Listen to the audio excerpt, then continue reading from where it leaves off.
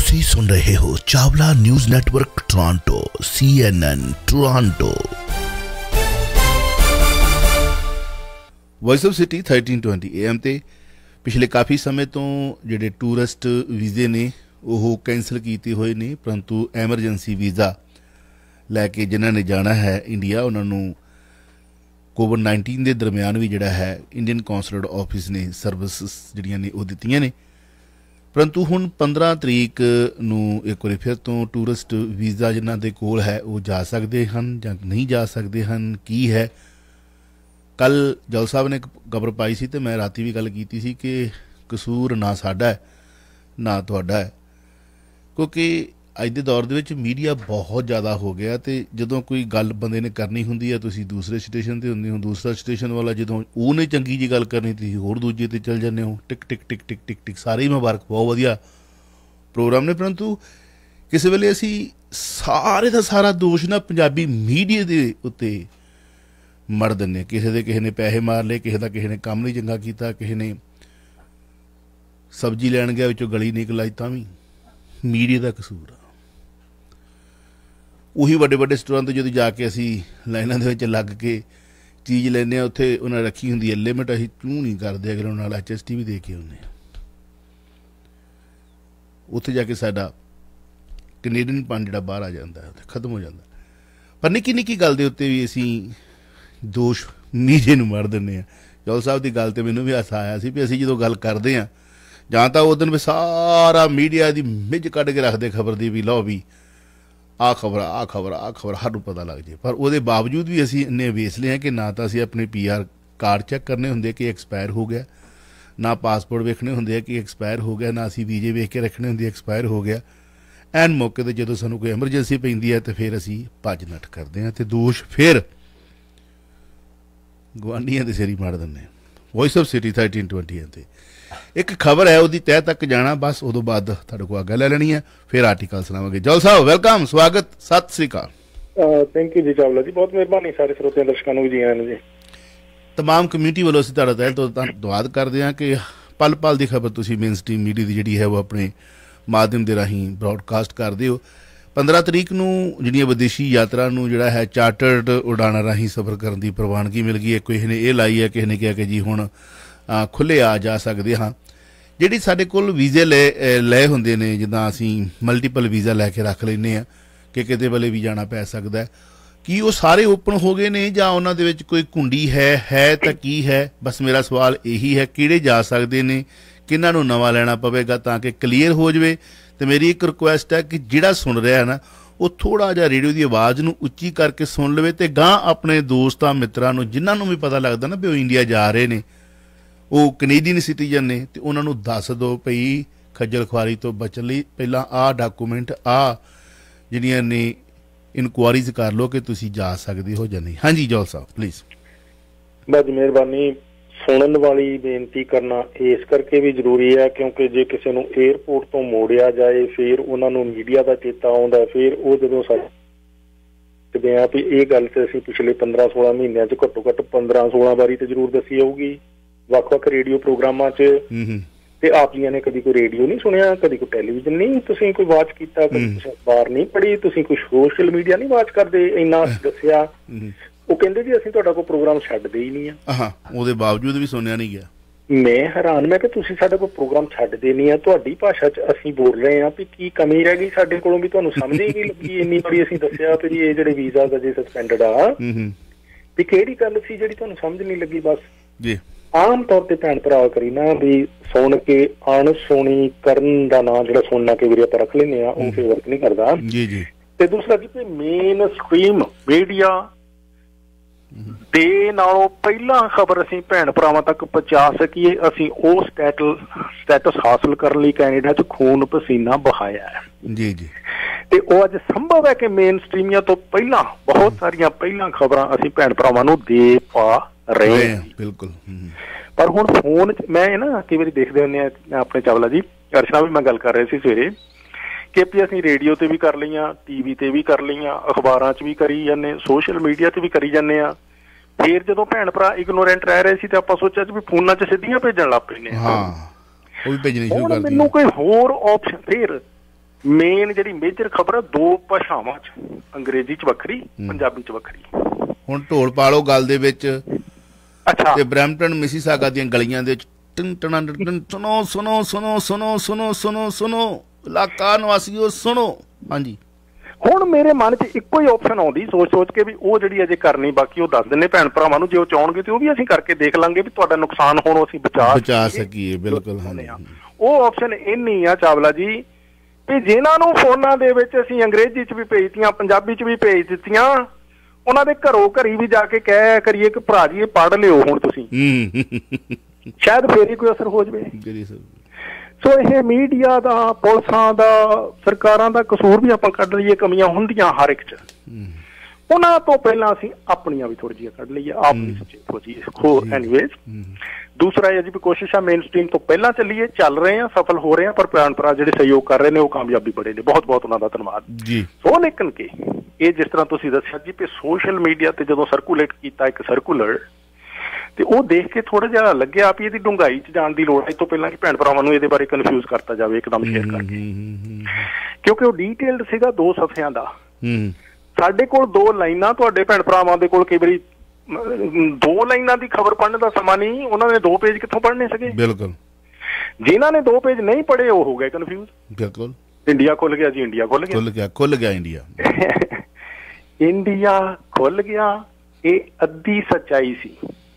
ਉਸ ਸਰਕੂਲਰ ਨੂੰ ਜਿਹਨੇ ਵਰਡ ਬਾਈ ਵਰਡ ਪੜਿਆ ਉਹਨੂੰ ਪਤਾ ਲੱਗਦਾ ਵੀ ਇਹ ਗੱਲ ਏਦਾਂ ਨਹੀਂ ਜਿੱਦਾਂ ਫੈਲਣੀ ਸ਼ੁਰੂ ਹੋ ਗਈ ਪਈ ਇੰਡੀਆ 15 ਅਕਤੂਬਰ ਤੋਂ ਜਾਓ ਜੀ 15 ਨਵੰਬਰ ਤੋਂ ਜਾਓ ਜੀ। ਫਿਰ ਮੈਂ ਕਿਹਾ ਵੀ ਇਹ ਇੰਡੀਅਨ ਕੌਂਸੂਲੇਟ ਜਾਂ ਇੰਡੀਅਨ ਐਮਬੈਸੀ ਨਾਲ ਜ਼ਰੂਰ ਸੰਪਰਕ ਕਰਨਾ ਚਾਹੀਦਾ ਵੀ ਕੀ ਹੋ ਰਿਹਾ। ਹੈ ਜੀ।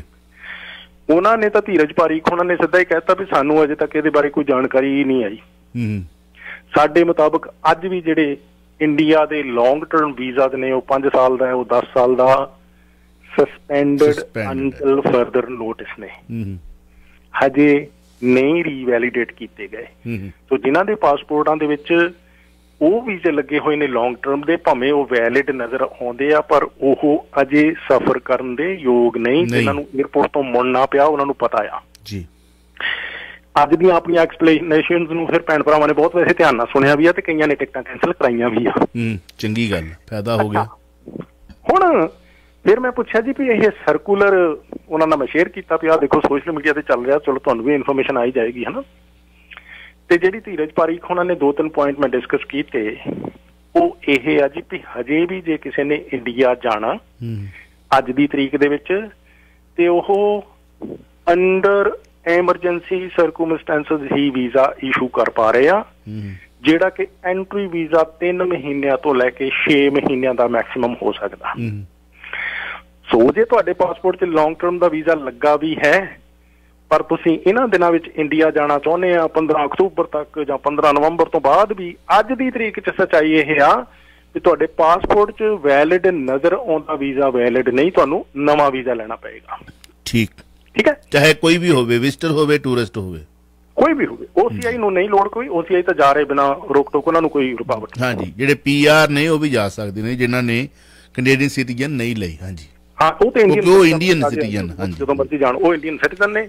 ਇੰਡੀਅਨ ਸਿਟੀਜ਼ਨ ਤੇ OCI ਉਹਨਾਂ ਦੀ ਇਹਦੇ ਵਿੱਚ ਕੋਈ ਗੱਲ ਨਹੀਂ। ਉਹ ਆਰਾਮ ਨਾਲ ਆਉਣ ਜਾਣ ਬਾਕੀ ਦੀਆਂ ਸ਼ਰਤਾਂ ਪੂਰੀਆਂ ਕਰਨ ਕੋਵਿਡ ਦੀਆਂ ਤੇ ਵੀਜ਼ਾ ਦਾ ਉਹਨਾਂ ਨਾਲ ਕੋਈ ਸੰਬੰਧ ਨਹੀਂ। ਜੀ ਜੀ।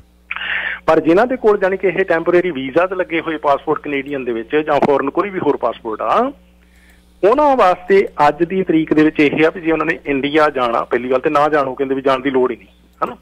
ਪਰ ਜੇ ਕੋਈ ਵਜ੍ਹਾ ਆ ਉਹਨਾਂ ਨੂੰ ਜਾਣਾ ਪੈਣਾ ਤਾਂ ਵੀਜ਼ਾ ਨਵਾਂ। ਲੈਣਾ ਪਏਗਾ ਜੀ। ਤੇ ਉਹ ਫਿਰ ਇੱਕ ਟੈਕਨੀਕੈਲਿਟੀ ਹੈਗੀ ਆ। ਜਿਹੜੀ ਉਹਨਾਂ ਨੇ ਦੱਸੀ ਕਿ ਜਿਹੜੇ ਇਹ ਵੀਜ਼ਾਸ ਪਾਸਪੋਰਟਾਂ ਦੇ ਵਿੱਚ ਲੱਗੇ ਹੋਏ ਆ ਪਹਿਲਾਂ ਸ਼ੁਰੂ ਸ਼ੁਰੂ ਦੇ ਵਿੱਚ ਉਹਨਾਂ ਨੇ ਜਿਹੜਾ ਟਾਈਪ ਆਫ ਵੀਜ਼ਾ ਲਿਖਿਆ ਹੁੰਦਾ ਨਾ ਸਟicker ਦੇ ਟਾਈਪ ਆਫ ਵੀਜ਼ਾ ਹਾਂਜੀ ਹਾਂਜੀ ਹਾਂਜੀ। ਹਾਂਜੀ ਇਹ ਬਿਜ਼ਨਸ ਵੀਜ਼ਾ ਜੀ ਇਹ ਵਿਜ਼ਟਰ ਵੀਜ਼ਾ ਜੀ ਇਹ ਵਰਕ ਵੀਜ਼ਾ ਜੀ ਜੋ ਵੀ ਹੈ ਉੱਥੇ ਉਹਨਾਂ ਨੇ ਐਕਸ ਮਾਰਕ ਕੀਤਾ ਹੋਇਆ ਟਾਈਪ ਆਫ ਵੀਜ਼ਾ ਲਿਖ ਕੇ ਉਹਦੇ ਅੱਗੇ ਇੱਕ ਐਕਸ ਆ ਤੇ ਗਾਂ ਕੁਝ ਨੰਬਰਸ ਹੋਣਗੇ ਹਰ ਵੀਜ਼ਾ ਦੇ ਉੱਤੇ। ਹੂੰ। ਉਹ ਬਹੁਤ ਥੋੜੇ ਪਰ ਹੋਣਗੇ 100 ਦੇ ਵਿੱਚੋਂ ਕਹਿੰਦੇ ਜੀ 0.1% ਹੀ ਕੋਈ ਹੋ ਸਕਦਾ ਜਿਹੜਾ ਐਕਸ ਵਾਲਾ ਹੋਵੇ। ਉਹ ਜੇ ਕੋਈ ਖੁਸ਼ਕਿਸਮਤ ਹੈ ਵੀ ਉਹਦੀ ਪਾਸਪੋਰਟ 'ਚੋਂ ਐਕਸ ਟਾਈਪ ਆਫ ਵੀਜ਼ਾ ਲੱਗਾ ਹੋਇਆ ਉਹ ਟਰੈਵਲ ਕਰ ਸਕਦੇ ਨੇ ਉਹਨਾਂ ਨੂੰ ਨਵੇਂ ਵੀਜ਼ੇ ਦੀ ਲੋੜ ਨਹੀਂ। ਹੂੰ। ਅੱਛਾ ਤੇ ਜਿਨ੍ਹਾਂ ਦੇ ਟਾਈਪ ਆਫ ਵੀਜ਼ਾ ਲਿਖਿਆ ਹੋਇਆ T T T T means tourist ਹੈ ਨਾ ਹਾਂਜੀ। ਟੀ ਤੋਂ ਅੱਗੇ ਫਿਰ ਕੁਝ ਨੰਬਰ ਪਾਏ ਹੋਣਗੇ। ਉਹ ਨਹੀਂ ਜਾ ਸਕਦੇ। ਸਸਪੈਂਡਡ ਆ। ਜੀ। ਹੁਣ ਉਹਨਾਂ ਆਪ ਹੀ ਕਿਹਾ ਜੀ ਵੀ 99% ਤੋਂ ਜ਼ਿਆਦਾ ਹੈ ਟੀ ਵਾਲੇ ਹੀ ਆ ਸੋ ਭਈ ਲੇਕਿਨ ਕਿ ਐਕਸ ਦਾ ਮਤਲਬ ਭਈ ਟੂਰਿਜ਼ਮ ਤੋਂ ਬਿਨਾ ਹੋਰ ਕੋਈ ਵੀ ਰੀਜ਼ਨ ਹੋ ਸਕਦਾ। ਜੀ ਜੀ ਜੀ ਜੀ ਠੀਕ ਆ? ਉਹ ਜਾ ਸਕਣਗੇ ਜਿਹੜੇ ਕਿ ਬਹੁਤ ਥੋੜੇ ਹੋਣਗੇ ਬਾਕੀ ਜਿਹੜੇ ਮੈਜੋਰਿਟੀ ਲੋਕ ਨੇ ਉਹਨਾਂ ਦੇ ਵੀਜ਼ਾਸ ਇਸ ਤਰ੍ਹਾਂ ਜਿਹੜੇ ਪੀਟੀ ਟਾਈਪ ਨੇ ਟੂਰਿਜ਼ਮ ਵਾਸਤੇ ਭਾਵੇਂ ਉਹ ਈ ਵੀਜ਼ਾ ਜਾਂ ਤੁਹਾਡੇ ਪਾਸਪੋਰਟ 'ਚ ਸਟicker ਵਾਲਾ ਵੀਜ਼ਾ ਲੱਗਾ ਉਹ ਸਾਰੇ ਹਾਲ ਦੀ ਘੜੀ ਸਸਪੈਂਡਡ ਨੇ। ਜੇ ਪਲਾਨਸ ਬਣਾਈਆਂ ਵੀ ਹੋਈਆਂ ਜਾਣਦੀਆਂ ਆਪਣੇ ਏਜੰਟ ਨੂੰ ਕਹਿ ਕੇ ਆ ਜਿਹੜੀ ਸਿਚੁਏਸ਼ਨ ਸਾਰੀ ਦੱਸ ਕੇ ਸਾਰੇ ਏਜੰਟਸ ਨੂੰ ਵੀ ਵੈਸੇ ਅੱਜ ਇਨਫੋਰਮ ਆਪਾਂ ਕਰਨ ਦੀ ਕੋਸ਼ਿਸ਼ ਕੀਤੀ ਆ। ਸੋ ਉਹਨਾਂ ਨੇ ਧੰਨਵਾਦ ਵੀ ਕੀਤਾ ਵੀ ਸਾਰੀ ਜਿਹੜੀ ਇਨਫੋਰਮੇਸ਼ਨ ਅੱਜ ਸ਼ੇਅਰ ਹੋਈ ਆ ਬੜੀ ਫਸਟ ਹੈਂਡ ਤੇ ਵੈਲਿਊਏਬਲ ਸੀਗੀ। ਕਿਸੇ ਜੀ। ਮੇਨ ਸਟ੍ਰੀਮ ਮੀਡੀਆ ਨੇ ਨਹੀਂ ਦੱਸਣੀ ਹੈ ਜੀ ਜੀ ਜੀ ਜੀ ਜੀ ਕਿਸੇ ਮੇਨ ਸਟ੍ਰੀਮ ਮੀਡੀਆ ਚ ਆਉਣੀ ਨਹੀਂ ਕਿਉਂਕਿ ਇਹਦੀ ਡੂੰਘਾਈ ਤੱਕ ਗਏ ਹੀ ਆਪਾਂ ਸਭ ਤੋਂ ਜੀ ਮੈਂ ਖਬਰ ਵੀ ਦੋਸਤੋ ਸੁਣਾਈ ਹੈ ਕਿ ਭਾਰਤ ਨੇ ਵਿਦੇਸ਼ੀ ਯਾਤਰੀਆਂ ਨੂੰ ਦੇਸ਼ ਵਿੱਚ ਭਾਵ ਭਾਰਤ ਵਿੱਚ ਆਉਣ ਦੀ ਪ੍ਰਵਾਨਗੀ ਦੇਣ ਦਾ ਫੈਸਲਾ ਲਿਆ।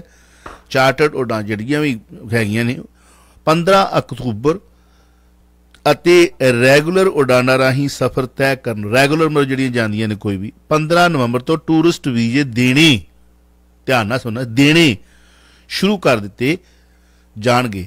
ਅਬ ਰੈਗੂਲਰ ਹੀ ਕੋਈ ਪਹਿਲਾਂ ਤਾਂ ਆਪਾਂ ਐਮਰਜੈਂਸੀ ਜਾਂਦੇ ਹਾਂ, ਹੁਣ ਰੈਗੂਲਰ ਹੀ ਉਹ ਟੂਰਿਸਟ ਵੀਜ਼ੇ ਜਿਹੜੇ ਨੇ, ਉਹ ਹੁਣ ਡਿਪੈਂਡ ਕਰਦਾ 6 ਮਹੀਨੇ ਦਿੰਦੇ ਨੇ ਜਾਂ 3 ਦਿੰਦੇ ਨੇ 15 ਤੋਂ ਬਾਅਦ ਜਾਂ ਫਿਰ 10 ਸਾਲ ਦਾ ਸਟੈਂਪ ਲਾਉਂਦੇ ਨੇ, ਨਹੀਂ ਲਾਉਂਦੇ, ਇਹ that's a different story so ਕਲੀ ਕਲੀ ਗੱਲ ਨੂੰ ਖਿਆਲ ਨਾਲ ਧਿਆਨ ਨਾਲ ਸੁਣ ਕੇ ਗਾਂ ਜੇ ਕਿਸੇ ਦਾ ਫਾਇਦਾ ਹੋ ਸਕਦਾ ਹੋਵੇ ਤੇ ਮੈਂ ਸਮਝਦਾ ਕਿ ਸਾਡੇ ਬਹੁਤ ਕੀਮਤੀ ਜਿਹੜੇ 10 ਮਿੰਟ ਨੇ ਇਹ 10 ਮਿੰਟਾਂ ਦੀ ਸਾਨੂੰ ਕੀਮਤ ਅਦਾ ਕਰਨੀ ਪੈਂਦੀ ਹੈ। ਹਾਂਜੀ ਸੋ ਇਹ ਤੁਹਾਡੇ ਲਾਹੇਵੰਦ ਹੋ ਸਕਦੇ ਨੇ ਕਮਿਊਨਿਟੀ ਦੇ ਹਾਂਜੀ। ਜਿਹੜੇ 15 ਅਕਤੂਬਰ ਤੋਂ ਕੌਣ ਜਾ ਸਕਦੇ ਨੇ ਜਾਂ ਉਹਦਾ ਕੋਈ ਕਿਹੜਾ ਵੀਜ਼ਾ ਹੋਣਾ ਚਾਹੀਦਾ? 15 ਨਵੰਬਰ ਤੋਂ ਕਿਹੜੇ ਜਾ ਸਕਦੇ ਨੇ ਉਹਨਾਂ ਕੋਲ ਕੀ ਵੀਜ਼ਾ ਹੋਣਾ ਚਾਹੀਦਾ? ਅੱਜ ਦੀ ਤਰੀਕ ਵਿੱਚ ਨੋਟ ਕਰ ਲਿਆ ਜਾਵੇ। ਹੂੰ ਕਿ ਉਹੀ ਲੋਕ ਹੋਣਗੇ ਭਾਵੇਂ ਉਹ 15 ਅਕਤੂਬਰ ਨੂੰ ਚਾਰਟਰਡ ਪਲੇਨ ਵਿੱਚ ਗਰੁੱਪ ਵਿੱਚ ਜਾਣ ਜਾਂ ਉਹ ਇਕੱਲੇ ਇਕੱਲੇ 15 ਨਵੰਬਰ ਤੋਂ ਬਾਅਦ ਜਾਣ ਪੰਜਾਬੀ ਦੱਸਿਆ ਜਾ ਰਿਹਾ ਸੁਣ ਲਿਆ ਜਾਵੇ। ਉਹੀ ਹੋਣਗੇ ਜਿਨ੍ਹਾਂ ਦੇ ਪਾਸਪੋਰਟ ਦੇ ਵਿੱਚ ਵੀਜ਼ਾ 6 ਅਕਤੂਬਰ 2021 ਕੱਲ ਦਾ ਦਿਨ ਜਿਹੜਾ ਲੰਘ ਕੇ ਗਿਆ। ਹਾਂ ਹਾਂ ਉਦੋਂ ਬਾਅਦ। ਉਸ ਤਰੀਕ ਨੂੰ ਜਾਂ ਉਸ ਤੋਂ ਬਾਅਦ ਲੱਗਾ ਹੋਵੇ। ਜੀ। ਸੋ ਨਵਾਂ ਵੀਜ਼ਾ ਲੱਗਾ ਹੋਵੇ। ਨਵਾਂ ਵੀਜ਼ਾ ਲੱਗਾ ਪੁਰਾਣੇ ਵੀਜ਼ੇ ਸਮਝ। ਲਓ ਕਿ ਪੁਰਾਣਾ ਉਸ ਸਰਕੂਲਰ ਦੇ ਨੰਬਰ ਪੁਆਇੰਟ ਨੰਬਰ 5 ਦੇ ਵਿੱਚ ਲਿਖਿਆ ਹੋਇਆ ਵੀ ਪੁਰਾਣਾ ਰਿਮੇਨਸ ਸਸਪੈਂਡਡ ਹੂੰ।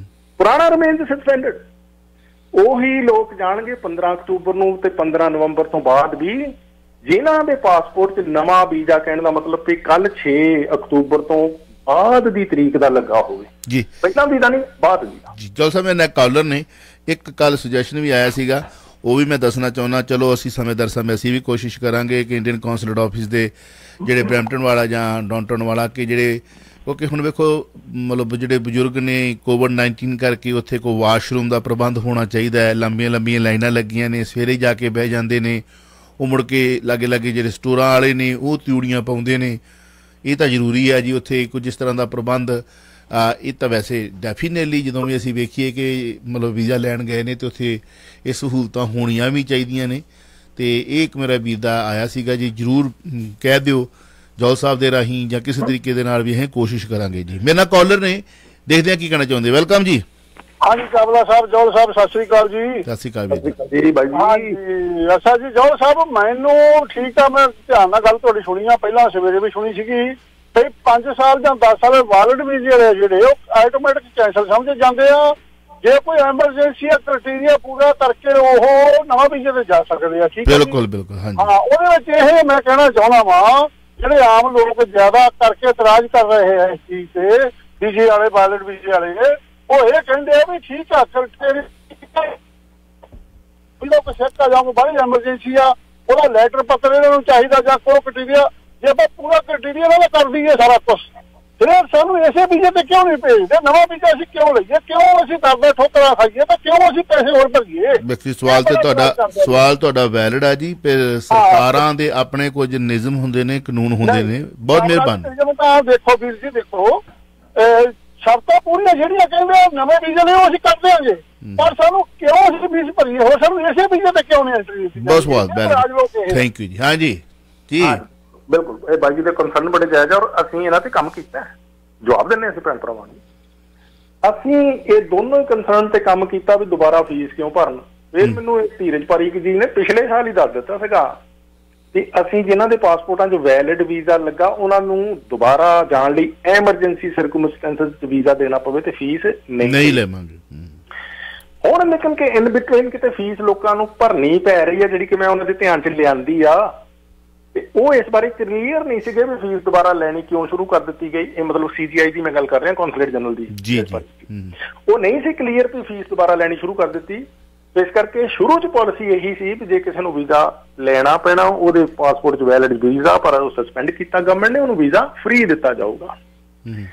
ਦੂਸਰੀ ਗੱਲ ਇਸ ਸਭ ਕੁਝ ਦੀ ਰੀਜ਼ਨਿੰਗ ਸਮਝਣ ਦੀ ਲੋੜ ਆ। ਜਿਹੜਾ ਆਪਾਂ ਕਹਿੰਦੇ ਨਾ ਵੀਜ਼ਾ ਸਾਨੂੰ ਹੋਰ ਕਿਉਂ ਲੈਣਾ ਪਵੇ। ਇਹ ਕੋਈ ਮਖੌਲ ਕਰਨ ਲਈ ਲੋਕਾਂ ਨੂੰ ਖੱਜਲ ਕਰਨ ਲਈ ਨਹੀਂ ਲੱਗਦਾ ਹਨਾ ਵੀ ਇਦਾਂ ਕੀਤਾ ਜਾ ਰਿਹਾ ਇਹ ਕੈਨੇਡੀਅਨ ਗਵਰਨਮੈਂਟ ਨੇ ਵੀ ਕਿੰਨੀ ਦੇਰ ਲੋਕ ਰੋਕੀ ਰੱਖੇ ਆ। ਉਹਨਾਂ ਨੂੰ ਹੀ ਆਉਣ ਦਿੱਤਾ ਗਿਆ ਜਿਨ੍ਹਾਂ ਦੀਆਂ ਕਾਰਵਾਈਆਂ ਤਰ੍ਹਾਂ ਤਰ੍ਹਾਂ ਦੀਆਂ ਸੀਗੀਆਂ ਹਨਾ। ਉਹ ਪੱਕਾ ਵੀਜ਼ਾ ਜਿਨ੍ਹਾਂ ਨੂੰ ਸੀਓਪੀਆਰ ਇਸ਼ੂ ਹੋਏ ਸੀਗੇ ਉਹ ਨਹੀਂ ਆ ਸਕੇ ਉਹ ਹੁਣ ਇੰਡੀਅਨ ਗਵਰਨਮੈਂਟ ਦਾ ਪਰਪਸ ਇਹ ਸਭ ਕੁਝ ਕਰਾਉਣ ਦਾ ਇਹ ਆ ਕਿ ਜਿਹੜੇ ਆਪਾਂ ਬਿਨਾਂ ਹੀ ਰੀਜ਼ਨ ਤੋਂ। ਨੌਨ ਐਸੈਂਸ਼ੀਅਲ ਝੋਲਾ ਚੱਕ ਕੇ ਤੁਰਿਓ ਆ। ਐਮਰਜੈਂਸੀ ਵੀਜ਼ਾ ਹੀ ਨਹੀਂ ਕਿ ਹਰ ਇੱਕ ਅਪਲਾਈ ਕਰੂ ਤੁਹਾਨੂੰ ਦੇ ਦੇਣਾ। ਉਹਨਾਂ ਨੇ ਦੇਖਣਾ ਵੀ ਕਿਉਂ ਜਾ ਰਹੇ ਹੋ? ਜਾ ਰਹੇ ਆ ਹੂੰ। ਵਿਆਹ ਐਸੈਂਸ਼ੀਅਲ ਨਹੀਂ। ਵਿਆਹ ਵਾਲੇ ਨੂੰ ਕਹਿੰਦੇ ਉਧਰ ਜਾਓ ਅਪਲਾਈ ਕਰੋ ਬੀਐਲਐਸ ਦੇ ਰਾਹੀਂ। ਐਮਰਜੈਂਸੀ ਜੇ ਕੋਈ ਡੈਥ ਹੋ ਗਈ ਆ ਕੋਈ ਸਿਕਨੈਸ ਹੈ ਕੋਈ ਵਾਕਈ ਕੰਪੈਲਿੰਗ ਰੀਜ਼ਨ ਆ। ਜੀ ਜੀ। ਸੋ ਨੌਨ ਐਸੈਂਸ਼ੀਅਲ ਨੂੰ ਰੋਕਣਾ ਪਰਪਸ ਹੈ। ਇਹ ਵੀਜ਼ਾ ਕੈਨਸਲ ਕਰਕੇ ਪਰਪਸ ਲੋਕਾਂ ਨੂੰ ਖੱਜਲ ਕਰਨਾ ਤੇ ਪੈਸੇ ਵਟਣਾ ਫੀਸਾਂ ਉਗਰਾਉਣਾ ਨਹੀਂ ਹੈ। ਨਹੀਂ ਹੈ। ਬਿਲਕੁਲ ਤੁਸੀਂ ਹੁਣ ਸਾਨੂੰ ਨਾ ਕਹੋ ਵੀ ਅਸੀਂ ਕੌਂਸਲੇਟ ਦੀ ਸਪੋਰਟ ਕਰ ਰਹੇ ਹਾਂ? ਸਪੋਰਟ ਕਰ ਰਹੇ ਆ ਬਿਲਕੁਲ। ਕਹਿਣਾ ਹੀ ਹੈ ਜੀ ਕਹਿਣਾ ਬੋਲੀ ਬੋਲਦੇ ਹੋਰ ਕੀ ਕਹਿਣਾ ਇਹੀ ਹੁੰਦਾ ਸਵਾਲ ਤਾਂ ਕੁਝ ਨਹੀਂ। ਸਮਝਾਉਣ ਦੀ ਕੋਸ਼ਿਸ਼ ਕਰ ਰਹੇ ਹਾਂ ਵੀ ਪਿੱਛੇ ਲੌਜੀਕ ਕੀ ਆ। ਗੱਲ ਜੀ ਮਿਹਰਬਾਨੀ। ਆ ਵੀ ਜਿਹੜਾ ਜਿਹਨੂੰ ਇਹ ਆ ਵੀ ਚੱਲ ਵੀਜ਼ਾ ਤਾਂ ਲੱਗਾ ਹੀ ਆ ਚੱਲ ਜਾ ਕੇ ਆਉਨੇ ਆ ਹੁਣ ਕੁਤਾਏ ਪਏ ਕੋਈ ਰੀਜਨ ਤੇ ਹੈ ਨਹੀਂ। ਪਰ ਕਈ ਭੰਗੜੇ ਭੰਗੜੇ ਪਾਏ ਨੇ ਨੋਟ ਵਾਰੇ ਨੇ ਵਿਆਹਾਂ ਦੇ ਉੱਤੇ ਖਾਏ ਨੇ ਪਾਰਟੀਆਂ ਉਹ ਬੀਐਸਐਲ ਦੇ ਥਾਈ ਗਏ ਨੇ। ਪਰ ਜਿਨ੍ਹਾਂ ਨੂੰ ਐਮਰਜੈਂਸੀ ਹੈ ਉਹਨਾਂ ਨੂੰ ਵੀਜ਼ੇ ਬਿਨਾਂ ਕਿਸੇ ਦੇਰੀ ਤੋਂ ਮਿਲ ਰਹੇ ਨੇ ਔਰ ਵਧੀਆ ਤਰੀਕੇ ਦੇ ਨਾਲ ਇੰਡੀਅਨ ਕੌਂਸੂਲੇਟ ਆਫਿਸ ਜਿਹੜਾ ਕੰਮ ਕਰ ਰਿਹਾ। ਤੁਹਾਡਾ ਜੋਲ ਸਾਹਿਬ, ਬਹੁਤ ਬਹੁਤ ਸ਼ੁਕਰੀਆ। ਤਕਰੀਬਨ ਅਸੀਂ 15 ਮਿੰਟ ਲਾਏ ਨੇ ਇੱਕ ਕੁਐਸਚਨ ਕਲੀਅਰ ਕਰਨ ਦੇ ਉੱਤੇ। ਔਰ ਮੈਂ ਦੱਸ ਦਵਾਂ ਕਿ ਇਹ ਪੰਜਾਬੀ ਮੀਡੀਆ ਚਾਹੇ ਤੁਸੀਂ ਇਸ ਨੂੰ ਸਬਜ਼ੀ ਵੇਚਣ ਵਾਲਾ ਕਹਿ ਲਓ ਤੇ ਚਾਹੇ ਤੁਸੀਂ ਇਸ ਨੂੰ ਜਾਣਕਾਰੀ ਦੇਣ ਵਾਲਾ ਕਹਿ ਲਓ, ਚਾਹੇ ਨਾ ਕਹਿ ਲਓ, ਪਰ ਤੁਸੀਂ ਉਹ ਇੱਕ ਦਾਇਰਾ ਹੀ ਖਿੱਚਿਆ ਕਿ ਸਾਰੇ ਇੱਕੋ ਜਿਹੇ ਨੇ।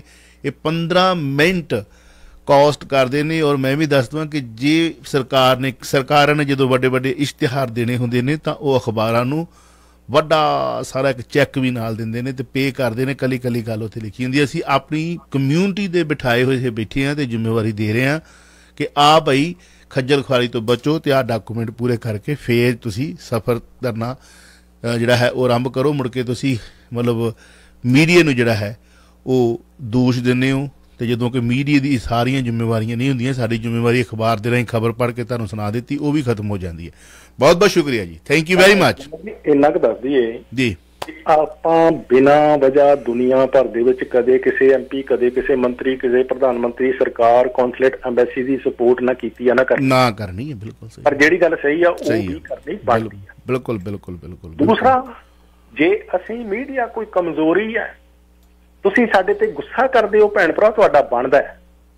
ਪਰ ਇੱਕ ਗੱਲ ਜੇ ਅਸੀਂ 15 ਵਾਰ ਦੱਸੀ ਤੁਸੀਂ ਫੇਰ ਵੀ ਗਲਤੀ ਕਰੋ 에어ਪੋਰਟ ਤੇ ਜਾਓ ਗਲਤ ਟਿਕਟ ਬਣਾ ਕੇ ਗਲਤ ਵੀਜ਼ਾ ਤੇ ਸਾਡਾ ਵੀ ਤੁਹਾਡੇ ਤੇ ਗੁੱਸਾ ਕਰਨਾ ਜਾਇਜ਼ ਹੈ। ਜੈ ਜੈ ਬਿਲਕੁਲ ਬਿਲਕੁਲ ਸਹੀ ਗੱਲ। ਬਹੁਤ ਬਹੁਤ ਸ਼ੁਕਰੀਆ ਜੀ Thank you. Thank you very much